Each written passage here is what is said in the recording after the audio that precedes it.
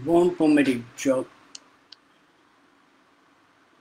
Eh, sono leggermente in ritardo. Mm. Avevo detto alle 15, siamo alle 16.36. Mm. Ma, ma ne ho dovuto ponderare per bene tutto il discorso di ben 14 minuti di Lisa Barrett sulle emozioni.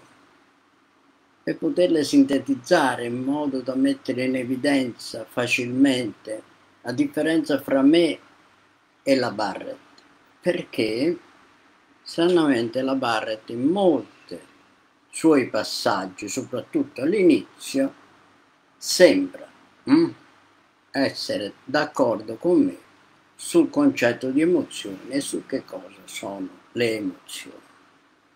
E ora mm, rileggiamo qualche passaggio che ho messo in evidenza e poi rileggiamo i passaggi dove in realtà sembra che stia partendo dal mio stesso presupposto, ma in realtà non sta partendo dai miei presupposti non sta partendo dal presupposto qual è la causa, il nocciolo da cui nascono le emozioni. Lei per fortuna, a differenza di molti altri psicoterapeuti che si mettono a fare semplicemente delle fotografie e poi in modo tautologico dicono questo è bene, questo è male, si risolve così, lei almeno ci fa la grazia di dirci chiaramente qual è la causa per lei delle emozioni. La causa delle emozioni io ora ve la leggerò, vi descriverò, ci sono tre punti fondamentali di questo suo discorso e che poi svilupperemo, ci ritorneremo sempre sopra e vi farò notare come lei stessa hm, partendo da questi tre punti in effetti va in contraddizione con quello che afferma all'inizio. E all'inizio cosa prende? Di cosa sono fatte le emozioni? Questa è la grande domanda. Mm? Eh. Io, quelli che mi conoscono, mm, sanno rispondere a questa domanda. Le emozioni, c'è prima un pensiero, poi ci sono le emozioni. L'emozione vuol dire emuove, mi muovo da uno stato di quiete. Mm? Chiaro? ma chi è che mi muove da questo stato di quiete è un mio pensiero. Mm? La causa è un pensiero, ecco dove ci sono dei punti in comune. Eh, e la, la, la Barrett dice, docente, vabbè non ci interessa, direttrice non ci interessa, nel suo libro ci dice che una nuova eh, ci dà una nuova prospettiva sulle emozioni che io tanto nuova non la vedo, uguale a quelle di prima. Il frutto sono il frutto delle interpretazioni del nostro cervello ai cambiamenti sensoriali. Beh, questo punto qui hm, sono il frutto dell'interpretazione del nostro cervello ai nostri cambiamenti sensoriali e beh, direi che è quasi comune a tutta la psicologia moderna. Inizialmente le emozioni venivano viste, eh, si parlava di innatismo emotivo come se fossimo hm, nati emotivi, ora si è modificato un po' questo discorso non si parla più di innatismo emotivo, ma si parla di interpretazione, hm? del nostro cervello ai cambiamenti sensoriali. Quindi noi abbiamo dei cambiamenti sensoriali e la causa di questi cambiamenti sensoriali dipende dallo squilibrio, dall'equilibrio del nostro corpo, cioè da un fatto fisico, oggettivo. Hm? Eh. Vedete, sono il frutto dell'interpretazione del nostro cervello ai cambiamenti sociali. Una prospettiva dunque che pone noi stessi in grado di controllare le nostre percezioni. È come se ci, questa prospettiva ci desse l'arma per controllare le nostre percezioni, ma non ci dice se tramite questo controllo delle percezioni e come si controllano queste percezioni, perché anche qui si dà per scontato che il nostro cervello possa rispecchiare fedelmente le percezioni, mm? eh, cioè come qualcosa di semplicemente esterno, come qualcosa che viene da fuori e noi lo rispecchiamo. Quindi c'è un'idea, una mappa cognitiva, la differenza è nella mappa cognitiva. La nostra Barrett dà per scontato che questo cervello vede correttamente, percepisce correttamente, percepisce le reazioni emotive, percepisce queste percezioni, mm? dopodiché le interpreta, ma percepisce queste cose. Mm? Una nuova prospettiva dunque mm? In grado di controllare le nostre percezioni, quindi come dire se controllo le mie percezioni va a finire che controllo anche le mie emozioni. Solo che qui partendo da questo presupposto su cui mi potrei essere perfettamente d'accordo, basta che io so da dove nascono le mie percezioni, se la mia mente è in grado di percepire correttamente le mie stesse percezioni e come la mente può fare per cambiare percezioni, da dove nascono queste percezioni, se la mente vede correttamente o no, hm? e quando posso vedere correttamente. Uno dei punti chiave, infatti, ecco, qui viene usato un termine che sembra un termine scientifico, e, ma se lo traduciamo la granularità emotiva. Eh, sembra una scoperta grandiosa. Mm? Nessuno ha mai detto una cosa del genere, la granularità emotiva. Che cosa vuol dire granularità emotiva? Ce lo dice lei stessa. Mm? Il nostro cervello dà un senso a che, quello che succede a livello fisico in relazione a tutto ciò che accade intorno a noi. La granularità riguarda il numero di dettagli, ecco, cosa vuol dire granularità? Il numero di dettagli, la precisione e la specificità del modo in cui il cervello sta creando emozioni. Mm? Attenzione, riprendiamo sta cosa. Oh, il nostro cervello dà un senso a quello che ci succede a livello fisico in relazione a ciò che accade intorno a noi. Ecco. Ecco la causa. Che il nostro cervello dà un senso a quello che ci succede a livello fisico in relazione intorno a noi. Sta facendo una fotografia. Io dovrei chiedere... Mm, per quale buona ragione quest'organo dà un senso a quello che ci succede in relazione? Perché fa questo? Qual è la buona ragione perché questo cervello cerca di dare un senso a quello che succede a noi? Certo, è un organo ed è un organo, hm? ma ve lo sta dicendo lei, che questo è un organo di mediazione ed è un organo come il cuore, il quale o il polmone, il quale, quale fa girare l'aria e il cuore fa girare il sangue per un unico fine, per mantenere in piedi tutto l'individuo. E quest'organo che fa parte di tutto l'individuo, qual è il suo fine? Simile a quello del cuore. Eh, eh interpreta mm, tutto ciò che gli viene dal corpo. Vedete dove sta? Sta questo cervello qui, le cellule stanno qui sono cellule sensibili capaci di interagire, di ricevere informazione dal corpo e in base all'informazione del corpo, dato che ha una finalità, attenzione a questo concetto, è un organo, ha una finalità, interagire per difenderci, questa è la finalità. E la nostra Barrett parla di questo? No. Quindi la sua mappa cognitiva che riguarda il cervello è completamente diversa dalla mia, quindi anche la sua causa delle emozioni è terribilmente di superficie e, e semplicemente non risponde alla domanda per quale buona ragione quest'organo fa, interpreta quello che gli capita, hm, che riceve dal corpo in relazione al mondo esterno, per quale scopo, per quale fine, per quale buona ragione. Hm? E né si chiede se quest'organo effettivamente percepisce correttamente quello che viene dal corpo e percepisce correttamente anche quello che viene da fuori.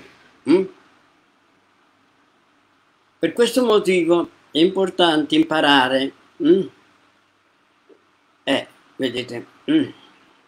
che succede a livello fisico, la granualità riguarda il numero di dettagli, la precisione, la specificità del modo in cui il cervello sta creando emozioni. Attenzione, in sintesi, cosa ci sta dicendo? Che la granualità hm?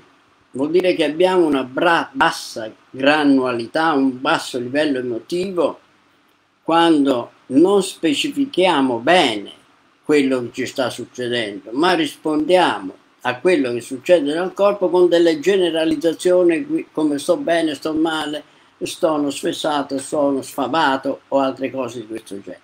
La nostra Barrett dice dà una connotazione terribilmente negativa a una cosa del genere, dice che una cosa del genere non va bene, non funziona, noi dovremmo, mm, dopo aver fatto delle generalizzazioni, riuscire a fare una granualità mm, molto più dettagliata, entrare nei dettagli, mm, rapportarci nello specifico e quindi eh, dare delle parole, dei concetti specifici a quello che ci sta succedendo, puoi definirlo rabbia, tristezza, emozione, nostalgia, qualunque stimolo, capire perfettamente quello che viene dal corpo, che cosa possa essere e non essere, hm?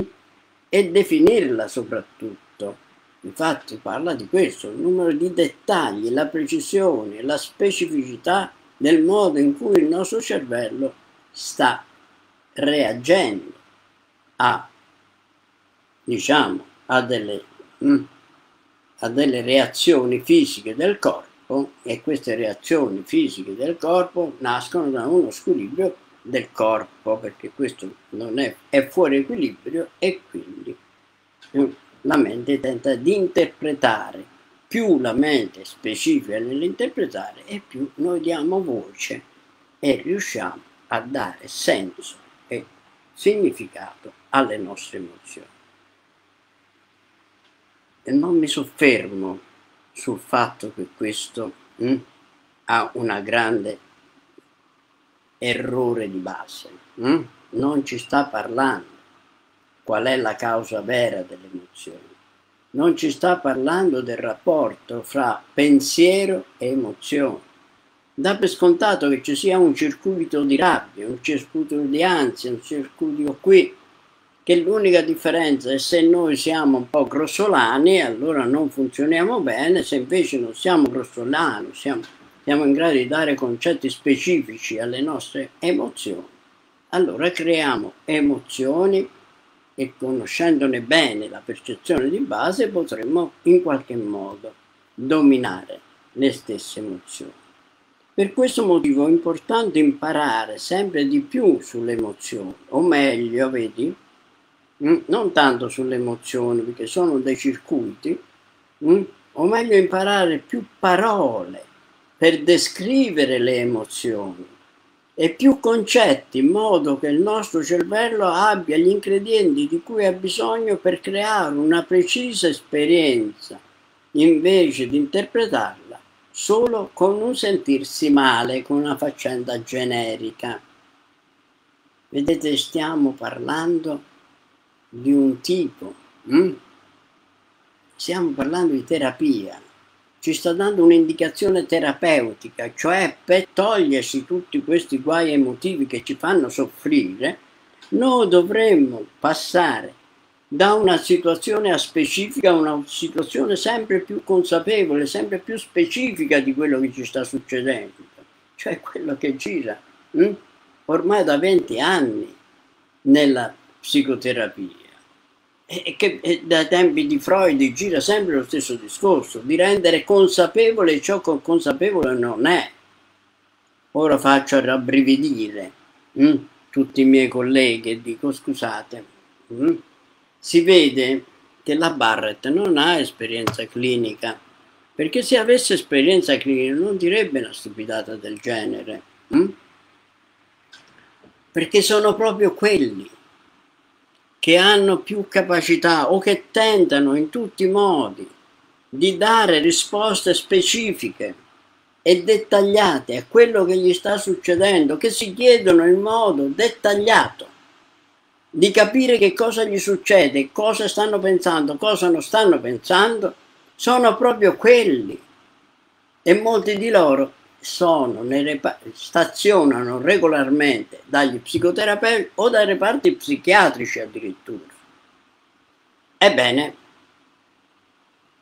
se noi non partiamo dall'esperienza clinica hm, e non ci, non ci domandiamo come mai, ma semplicemente diciamo se uno va dallo psicoterapeuta o va a finire nel reparto psichiatrico è malato, c'è un circuito sbagliato, a livello fisico c'è un circuito sbagliato, c'è qualcosa di sbagliato a livello fisico per cui quello fa così.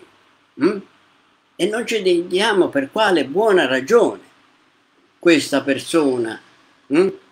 E prendiamo in considerazione soprattutto l'esperienza del depresso che più tutti viene catalogata come un'esperienza fisica, cioè una malattia fisica, di un circuito fisico rotto. Ebbene, hm? ora se io come spesso tutti noi, hm, passiamo una nottataccia, non dormiamo, la mattina dopo siamo stanchi, morti, non abbiamo voglia di andare a lavorare, nulla di nulla. Hm? E c'è una differenza fra le persone. E non devo fare le, le, fotografie solo in un senso, devo fare fotografie in un senso e nell'altro. Devo fare le fotografie di come una persona sta creando emozioni invalidanti e come un altro invece non crea nelle stesse condizioni, con lo stesso dialogo interno, non crea le stesse reazioni invalidanti o emozioni invalidanti. Ebbene, io spesso e volentieri, io penso che molte persone, soprattutto quelli che sono più attivi, molte mattinate, alcune mattinate, in alcune mattine particolari, dopo magari una notte insonne, oppure che hanno mangiato male, che hanno bevuto, sono ubriachi e rimangono mezzo ubriachi fino alla mattina, per cui il corpo, in questo caso in effetti il corpo ha le sue necessità, dice alla mente, senti, eh, oggi non ho nessuna voglia di andare a giro, hm? sono stanco, bisogna riposare, ho le mie esigenze, dice questo cervello, lo dice anche lei, eh? E allora Qui c'è la differenza. È vero, ragione, le emozioni nascono dalla differenza di interpretazione di questi segnali che vengono dal corpo, ma la differenza di interpretazione è un pensiero preciso, di pericolo o di non pericolo, di cosa buona o di cosa cattiva, di senso positivo o di senso negativo. Ma l'interpretazione la valutazione, ecco a questo punto, che non è tanto un'interpretazione quanto una valutazione mh, mm, per una finalità, è la valutazione per un fine specifico che mi può creare una reazione in un modo piuttosto che un altro. E allora prendiamo l'esperienza, quindi io sono ubriacato, io anni amico, psicologo, psicoterapeuta? Mm? famoso in tutto il mondo per le minchiate che dice? Mm? eh, si è alzato tutto sfessato una mattina, non ha nessuna voglia di fare niente, esattamente que come quello, come ciò che mi riferisce in genere, un autentico depresso, mh? Mm? farmaco resistente. Il depresso farmaco resistente, un'esperienza clinica, eh? cosa dicono il linguaggio interno del depresso, farmaco resistente, dice non ho voglia, non ho voglia di nulla, non ho voglia di fare nulla. Come mai, dottore, mi sono svegliato? Come mai la mattina non ho voglia di fare nulla? Mm? Perché non ho voglia di fare nulla? Questa è la domanda. E a questa domanda c'è da rispondere. E io dico, guarda anch'io, hm? mi sono svegliato tutto sfessato stamattina, facciamo, confrontiamo le nostre esperienze, il tuo dialogo interno, cosa hai sentito, cosa hai provato? Beh, ho provato le tue stesse cose, però a differenza di te non mi sono chiesto come mai mi sento così. Chiedete, chiedete, rafforzate su questo dialogo interno, la differenza è su questo dialogo interno. Eh, le sensazioni sono le stesse che vengono dal corpo, ma il depresso, quello che rimarrà impigliato nelle proprie emozioni di tristezza, si chiede come mai mi sento così. E io, che sono lo psicologo più minchione di questo mondo, dice le minchiate più grosse di questo mondo, non dice la stessa cosa. Dico, hm, tenendo conto della finalità di quello che devo fare, che palle stamattina. Mm? Non ho voglia proprio di fare nulla. Che palle. L'altro dice come mai mi sento così. Cioè la stessa esperienza. Non ho voglia di fare nulla, il corpo è tutto ammaccato, non ha voglia di alzarsi, di, di lavorare. Uno dice io dico che palle, quello che è depresso dice come mai?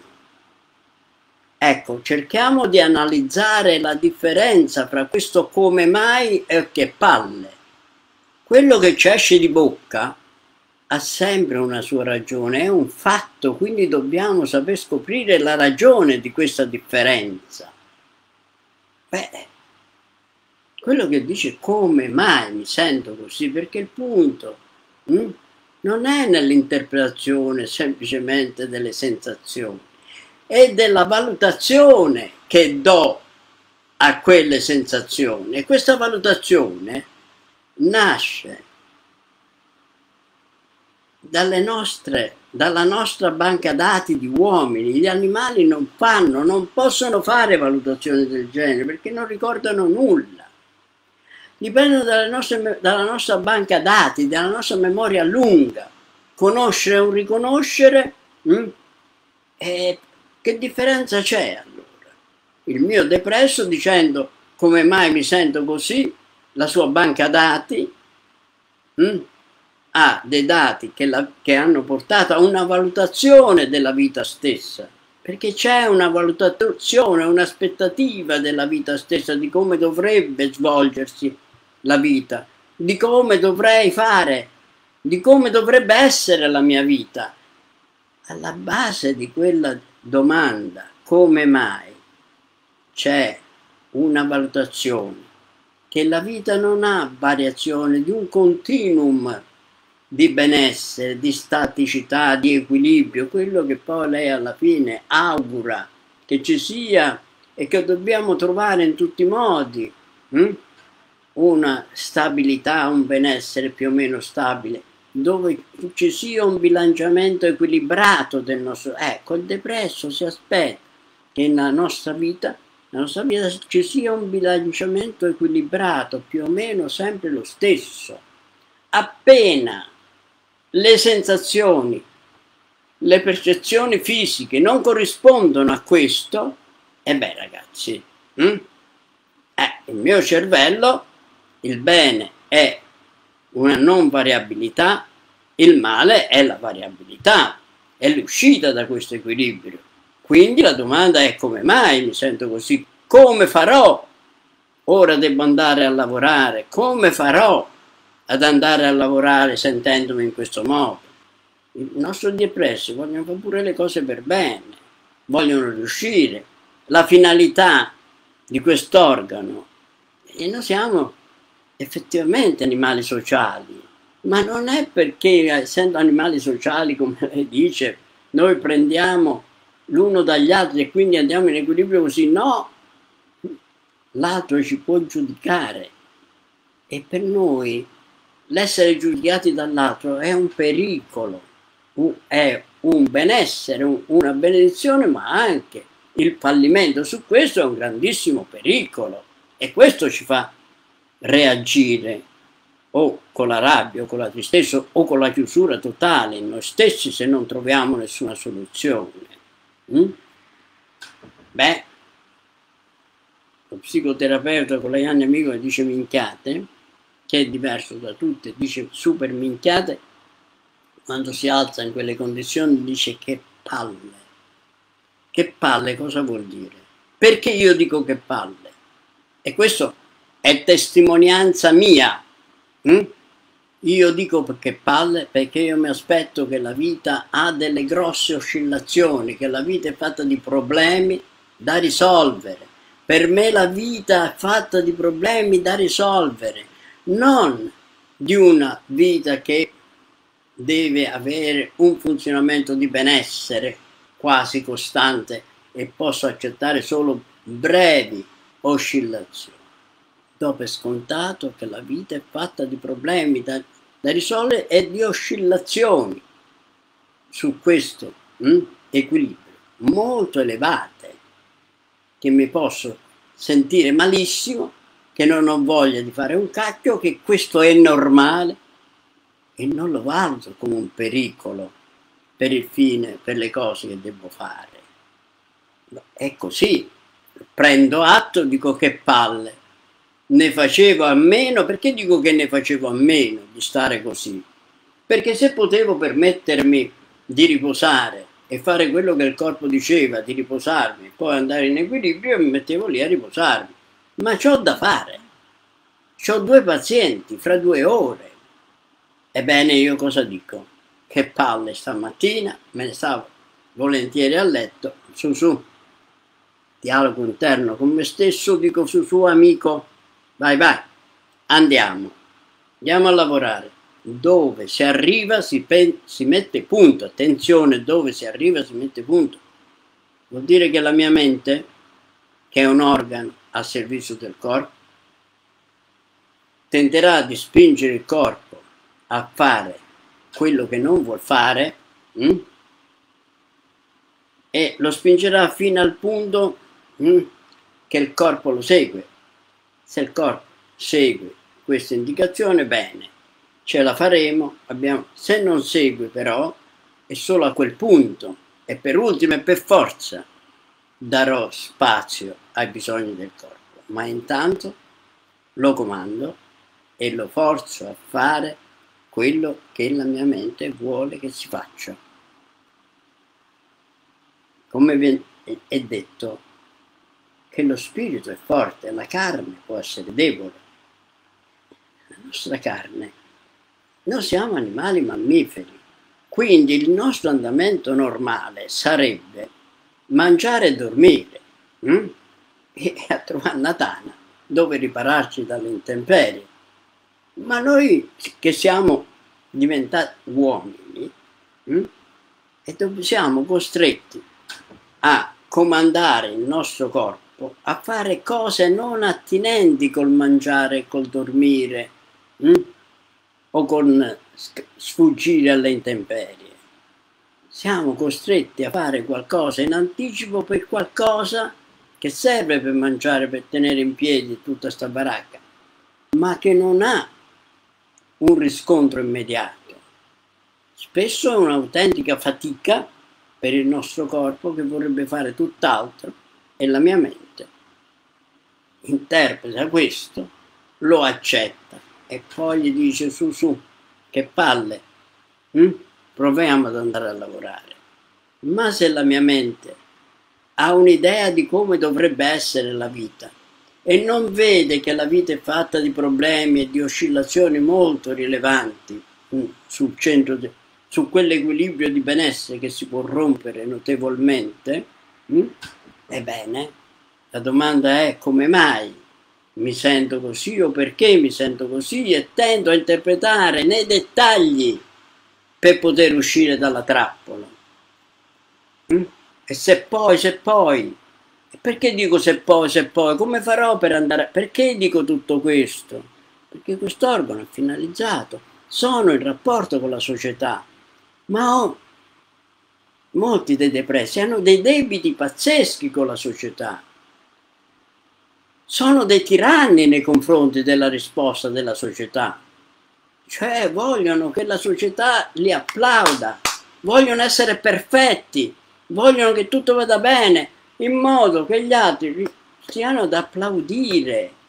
È tutto il contrario di quello che questa Barrett ci dirà alla fine come rimedio per, per andare, hm? per non cadere in trappola alle emozioni. E ora rileggiamo ancora qualcosa. Per questo motivo è importante imparare sempre di più sulle emozioni, è meglio, è meglio imparare più parole, quindi tutta la terapia è imparare le parole, i concetti aderenti alle emozioni e, e non capirne le finalità, non capire la vera causa che io sto producendo pensieri di pericolo eh, non sono adeguato, ho da fare questo. Il timore è che posso avere maledizioni. E una maledizione, se la valuto negativamente, perché è la mia valutazione, perché io posso anche dire, come il fatto faccio, io faccio e lascio libere le persone di odiarmi, io sarò quieto. Le loro maledizioni da qui mi entrano, da qui mi escono. Vedete dove sono quieto? Mm? Dove sono svincolato dalla realtà esterna? Il problema è che, che quest'organo è un organo di mediazione fra il corpo e il mondo esterno. Il mondo esterno fatto di persone che hanno esigenze nei nostri confronti con cui interagiamo, da cui soprattutto vogliamo delle cose. E le vogliamo meritandocele. Dici perché? Ma, ma, scusate, ma la nostra educazione a scuola qual è stata? Mm? Eh, se mi ripeti da qui a qui ti metto 8, poi ti sorrido. Mm? Eh, allora, quindi faccio un grosso appunto alla Barrett e dico che in effetti ha poca esperienza clinica, ragiona proprio stando in un laboratorio. Mm? Eh, abbia, vedete, o meglio imparare più parole per descrivere l'emozione e più concetti in modo che il nostro cervello abbia gli ingredienti di cui ha bisogno per, per creare una precisa esperienza una precisa esperienza invece di interpretare solo come un sentirsi male. Bene, stranamente, se il mio depresso o io Mm? Faccio un'esperienza di dire che palle stamattina, mi sento male, va, va, su, andiamo a lavorare.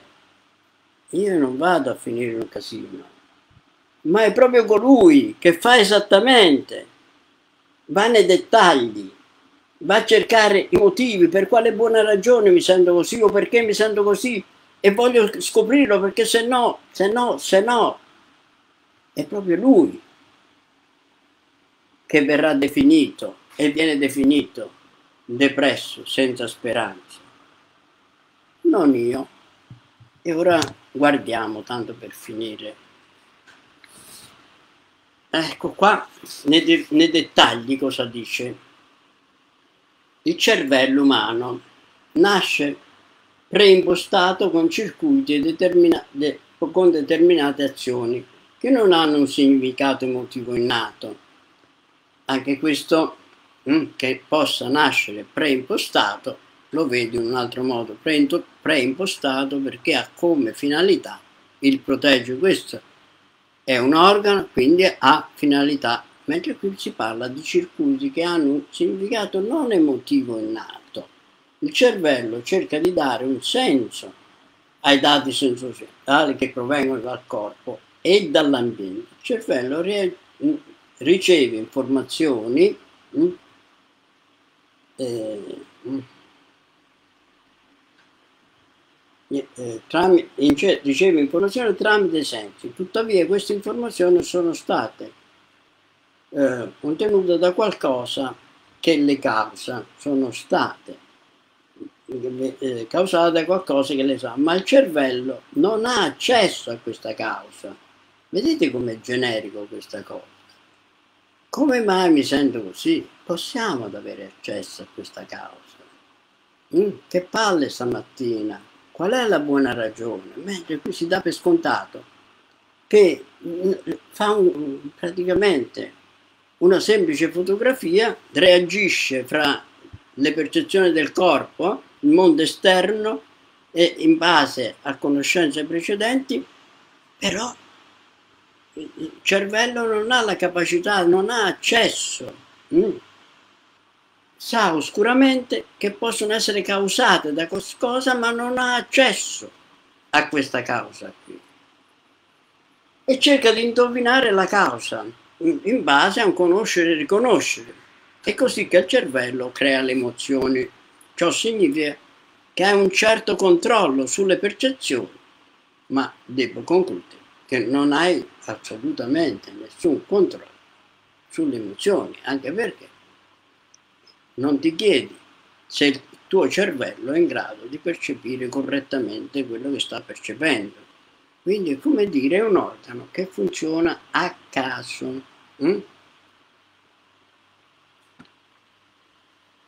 Eh, ci dice che possiamo avere più mm, controllo solo sulle interpretazioni eh, delle percezioni sensoriali che arrivano al cervello. La gra gra granularità emotiva dice che il cervello ha, ha un senso dà un senso a quello che succede a livello fisico in relazione a ciò che accade intorno a noi. Mm? E va bene, l'abbiamo già visto.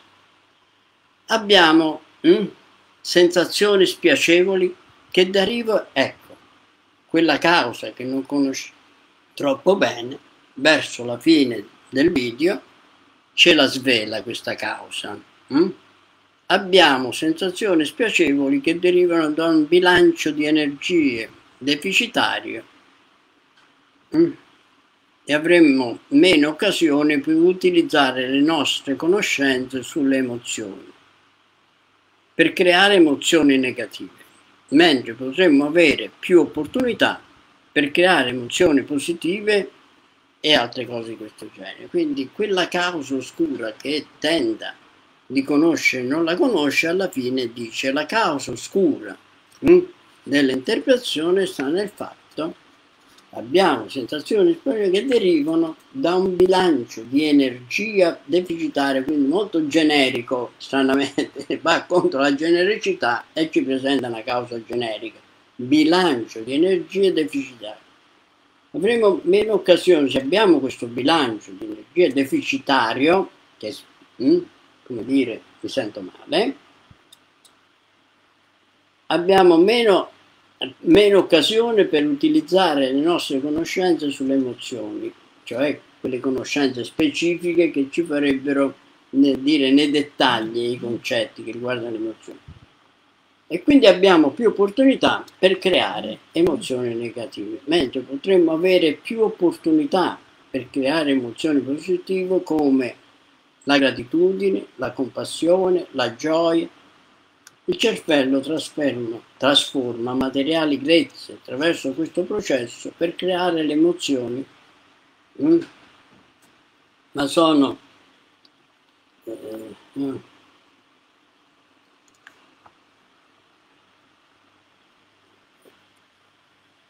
no, ma lei stessa dice che il nostro cervello mm, non fa altro che elaborare questi materiali grezzi per creare emozioni. Il nostro cervello, io stesso non crederei a queste cose se non facessi la ricercatrice.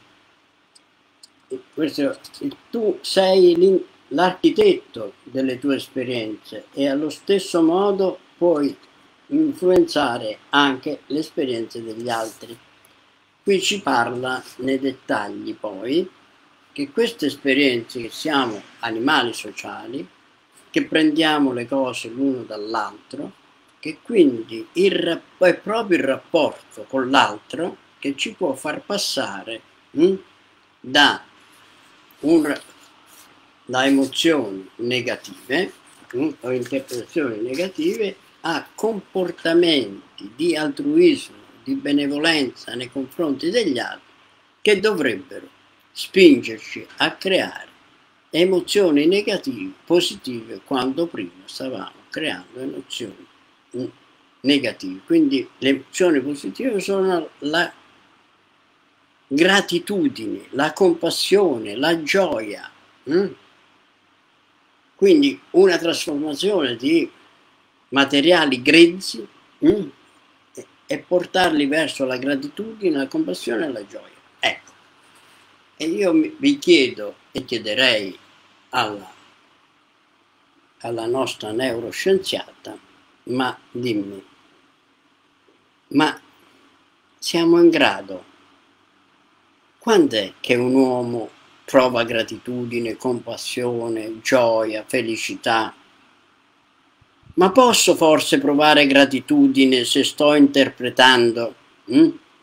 Che l'altro, in base alla valutazione che do delle cose, di ciò che è bene, di ciò che è male, di ciò che è minaccioso, di ciò che non è minaccioso, ed è questa valutazione dell'azione dell'altro, in base a una mia aspettativa precisa, che io non posso provare gratitudine. E per trasformare una mia reazione di vendetta, perché ho valutato l'altro uno stronzo o l'altra una stronza, che me l'ha fatta, ma è una mia valutazione. Che dice che non ci si comporta così, che ci si dovrebbe comportare. Vedete, abbiamo, abbiamo quello che io parlo sempre di un lettino di Procuste, abbiamo di una misura con cui noi accogliamo quello che viene dall'esterno. Quello che viene dall'esterno non è pacifico, non è semplice questo rapporto fra l'interpretazione del nostro corpo e quello che succede all'esterno di noi. Perché quello che succede all'esterno di noi viene valutato e viene valutato in base a una misura precisa di ciò che è bene, di ciò che è male. E ciò che è bene e ciò che è male questa è una banca dati dove proprio le reazioni di equilibrio e disquilibrio del nostro corpo hanno stabilito come una specie di, di memoria già codificata hm, con cui noi interagiamo poi con la realtà. Per questo motivo è importante imparare sempre più sulle emozioni. È quello che io dico. Per questo motivo Dobbiamo imparare sempre più sui giudizi. Quest'organo, oltre ad avere una finalità, è in grado di produrre giudizi di esistenza e di valutazione. In base a che? In base ai bisogni del corpo. Eh, sì, c'entra il corpo. Eh. E se io ho un bisogno, ho caldo, o freddo, e vedo un albero e c'è ombra nell'albero, io sono molto accaldato e metto un giudizio di valutazione. Se non ho né caldo né freddo, vedo l'albero che c'ha l'ombra e faccio una semplice constatazione. Quell'albero lì fa ombra, hm? fa ombra. E non sto valutando. Perché non sto valutando? Se quell'ombra di quell'albero mi fa bene e fa male? Perché non ho nessun bisogno. Ma se avevo un bisogno, ero molto accaldato o avevo molto freddo, eh, la valutazione è che quell'ombra poteva aumentare il mio freddo e io andavo altrove. Se l'ombra invece può togliere il mio caldo, io mi avvicino all'ombra. È tanto complicato capire le cose. Mm? Poi dov'è il problema? Ma la gratitudine, la compassione, la gioia, ma da dove nascono? Come faccio ad essere grato a qualcuno se quello mi pesta un piede e crea uno squilibrio nel mio corpo? Non posso essere grato. Posso anche essere grato se io sono disposto, quindi tolgo le valutazioni di bene e di male, dico che la vita è un cambiamento continuo, tutto mi può capitare e sto organizzando quest'organo con una filosofia, con una mappa cognitiva che dice il mondo varia continuamente, quello che è importante è sperare che il mondo mi vada a modo mio sono disposto a dire sì a qualunque no la vita mi dà. E esercito questo mio cervello, questo mio organo ad essere disposto a dire sì a tutti i no della vita, allora potrò avere gratitudine, compassione per gli altri, gioia, se no, e questo si parte da un presupposto che noi, fosse, che noi siamo nati liberi e ragionevoli, no. Noi non siamo nati liberi e ragionevoli. Questa cultura psicologica è veramente una subcultura dell'uomo. È possibile, come si fa a risolvere i problemi dei nostri pazienti con una subcultura del genere?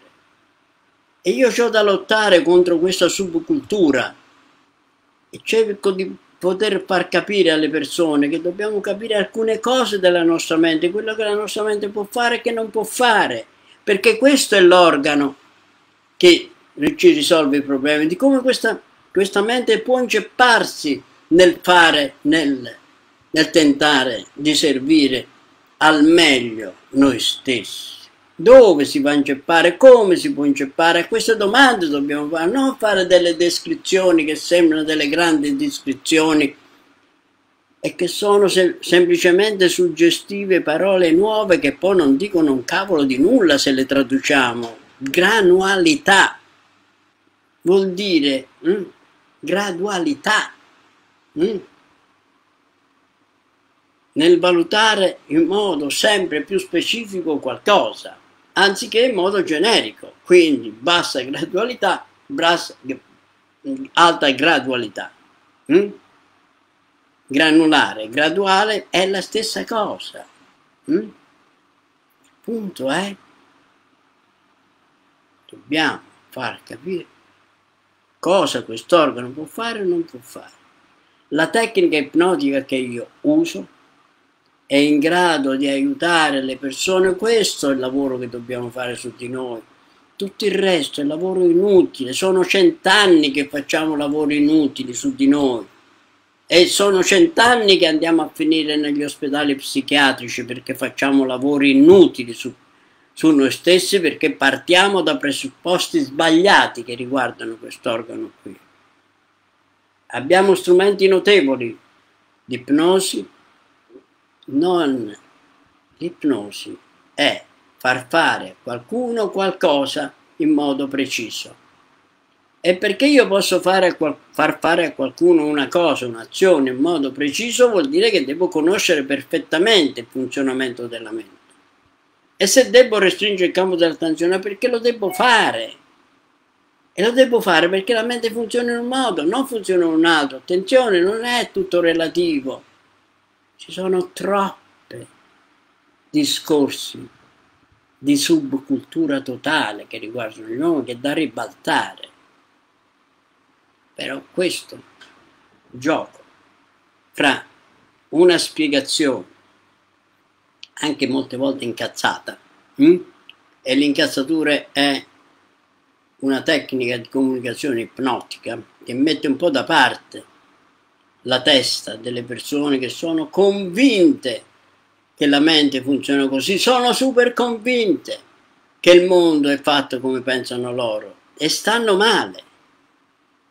Se il mondo andava come dicono e se la mente funzionava come credono, non dovevano star male. Se stanno male vuol dire minimo di stare ad ascoltare un po', ma tutti i percorsi spirituali, infatti, molte volte sono basati sulla, sull'ubbidienza, proprio perché se non riusciamo a togliere di mezzo certe credenze che riguardano la mente, che riguardano la vita, ecco, la differenza fra me che mi, mi alzo sfessato, dico che palle, e quella delle prese, dico come mai mi sento così, poi non fa nulla tutto il giorno, sta nella differenza cioè di quello che mi aspetto che la vita sia, di come dovrebbe essere, e quello che il depresso che la vita sia. Eh, l'altra grande differenza sarà dal fatto di quello che so di come la mia mente si inceppa, questo glielo dovrò insegnare al mio depresso, perché se no non lo tiro del tutto fuori da questa trappola. Buongiorno. Mm. Vediamo.